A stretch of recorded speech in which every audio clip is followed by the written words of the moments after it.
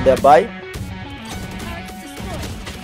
Oh, peeks through. Benji needs to be careful. Gets the wall bang. Gets the second onto Insane as well. That's a rifle down. Comes through. Going to get mollied up. Benji's going to get pushed back, but he's going to eat it up. And he manages to pick up two and still survives as not manage to catch Roach. Roach manages to get one, but the trade is going to be there. They're looking for more. What a shot there by Insane with the blade storm. Looking for more. Manages to find another. He's going insane. They do manage. Roach is going to be peeking here. Needs to be careful.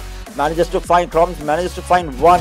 Defiance is going to be the next one coming through, but Crumbs will be dashing forward into the side, trying to clear back outside, and what a shot from him. Will find Benji making it a 3v5 now. Crumbs finds Hika as well, Killjoy for one. Real finds two, but finally the trade comes. Seems to be showing a lot of respect. And Crumbs is going to be pushing that Molly, might find one, looking for another, he might find another as well. Crumbs with a quick 1-2 with that Spectre, pushing the spoke that was not expected.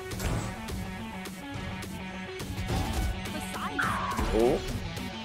Killjoy finds one insane in the meantime, finds Reeve as well. 2v3 now, numbers advantage, but as I say that, Defiance fall, making the Hikka the last man alive.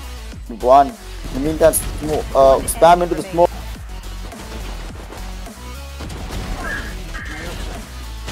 Oh, Roach, Hikka, Roach finds a by two. Blinding light goes through, they find Roach. Do they clear it? Benji will find one. No trade for it though. Benji finds another there. Might get another, but no. Insane finally. Can they do it? Insane finds one on the Benji, making it a 2v2. Oh, good god. They find another, and Insane is. God.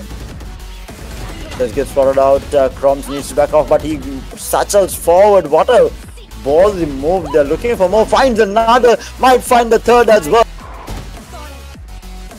Blazer catches him as well. Last man goes down, and it is gonna be Supreme.